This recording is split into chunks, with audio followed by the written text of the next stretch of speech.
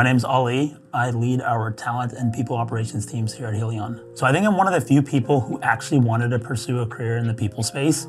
I can give you a long backstory about how I ended up here, but TLDR is that I got a master's in HR from Villanova, and I thought, hey, I'll move to Seattle. I'll do recruiting for a little bit. But once I got into recruiting at Microsoft, I realized how critical it was to make sure you have the right people hired for the right roles at the right time. And I've been addicted to helping companies make sure that we build out the best teams, but also in turn, helping people find opportunities that are literally life changing for them. Well, good news is that most of our engineers that we've hired actually don't come from Fusion backgrounds. They come from various backgrounds where they just worked on hard technical problems with other good engineers. For example, one of our engineers who's leading all of the integration efforts from Polaris actually never worked on Fusion. She worked at Blue Origin for several years before she came over here. So the good news for you is that you just have to figure out what do you want to do in Fusion from an engineering perspective and then start making a shift towards that. And just keep in mind the entire time, you don't need Fusion experience to be an engineer. I think we're, what we're most interested in for engineers when they're joining, especially out of school, is that they worked on a hard technical project. So my advice for you is figure out something you're passionate about, something related to the field you want to go into, and go just work on it. Really understand it, get deep into it, and then be able to share with others what you learned and the outcome that you had. That shows agency, it shows technical rigor, and that's what we're most excited about when we're hiring engineers here.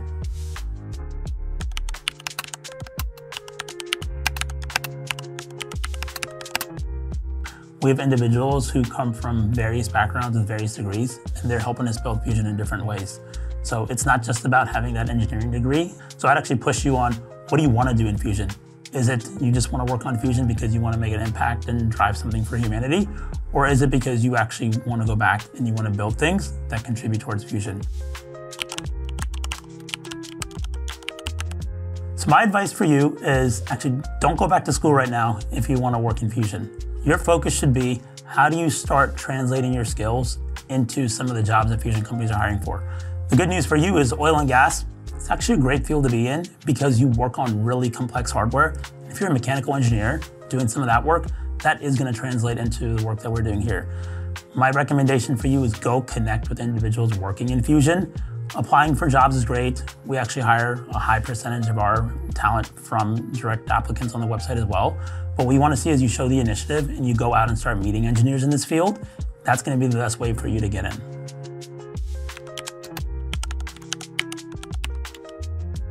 The biggest job need we're continuing to see, and I expect we will see for the next 10 plus years, is going to be more good electrical engineers. Electrical engineers are so critical, and anyone who goes into that field and is able to contribute is going to make a direct impact in making all of the work we're doing a reality.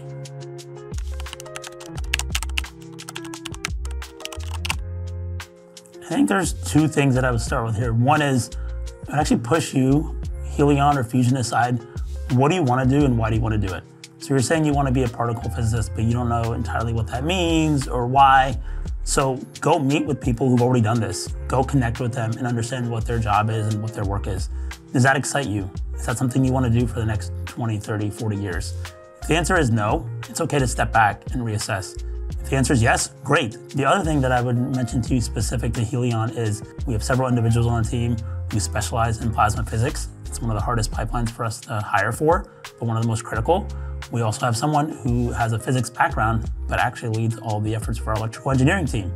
Not something you typically see, but that just shows you there's a variety of ways to get into Fusion and make an impact, and it doesn't start with just one dedicated major.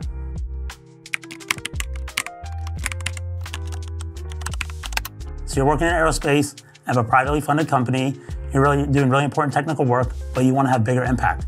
That's why most of our engineers actually joined. Several of them came from SpaceX, Blue Origin, Kuiper project at Amazon, and they were doing really important technical work.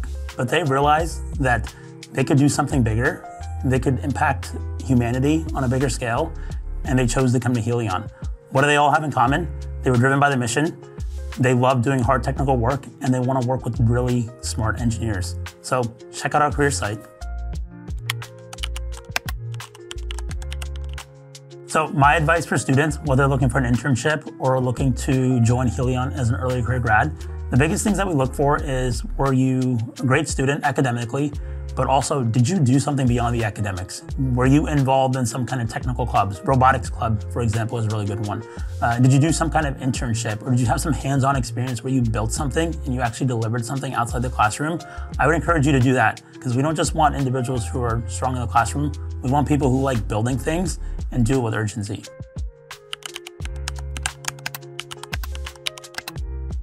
So I think a common misperception about working in Fusion is that you need to be an expert in some niche field that no one has heard of.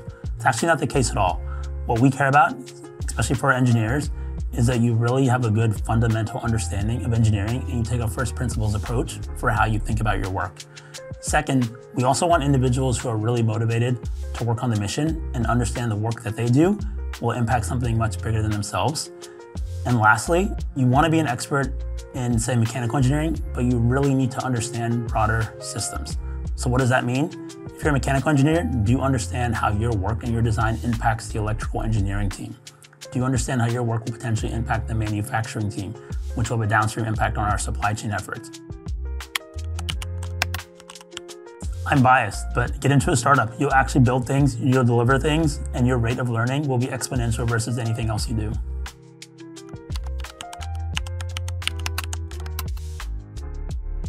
Yeah, I think there's so many ways to contribute in Fusion that don't require you to come from academia. We have individuals all over the company who work in things outside of our engineering and research teams. We have a finance team, we have a people team, we have a comms team. Uh, we also have a big technician workforce that comes from retail, comes from delivery and logistics, and comes from working in other places where they're able to apply their skills and actually help us build machines that will deliver Fusion to the world. We are just keen on hiring good talent who wants to build Fusion. At Helion, we actually have hired several individuals who come from Canada, and we're continuing to look for talent across the world who can make an impact on what we're doing.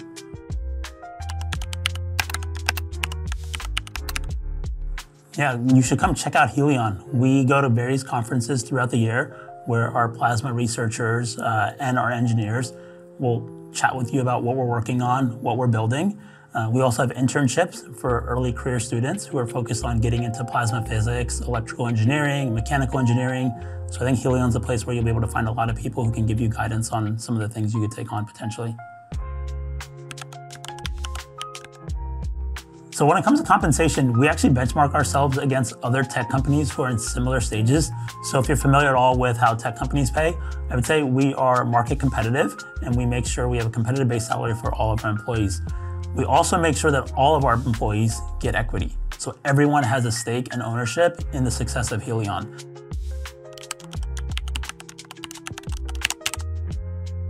So we, we hire several folks with PhDs on both our nuclear team and our research team, but I think the demand that we continue to see grow and grow is on our engineering teams, uh, specifically our electrical engineering team.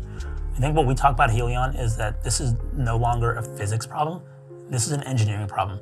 So we need talented individuals who understand the fundamentals of engineering and know how to build and deliver good hardware.